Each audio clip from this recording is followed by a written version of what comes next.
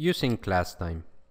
One of the major benefits of preparing these type of video tutorials is that the students do not have to experience the lecturing during class time. In other words, once that you're done with your video recording, they can take it home or they can take it anywhere else and they can watch it in their own time. That frees your class time for other type of activities that will significantly change your instruction because most probably you're not going to create these video recordings just to play them at the time of class.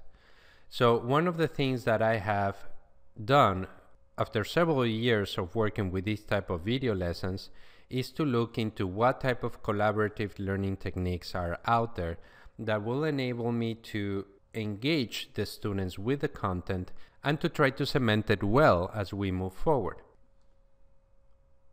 For these collaborative learning techniques, I have been guiding my work based on this book. And this book has certain sections that are well written for internet related activities. However, I have been doing a lot of adaptations in my own and I am now engaging my students into collaborative learning techniques online and in real time. Nonetheless, these can also work very well for classes that are in person. So I would recommend that you look at a book like this one and think about what are the ways in which your students can participate with each other and with you in order to bring that content that you presented in your video recording and cement it well. The other thing that you can do during class time is to engage in evaluation practices. And this could be you actually doing the evaluation in a typical way, like a quiz, like exams, or it could be simple questions and answers.